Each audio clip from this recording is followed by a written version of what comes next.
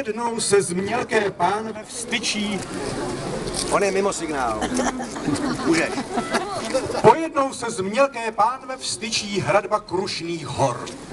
Zdále je příkrá a nedobytná.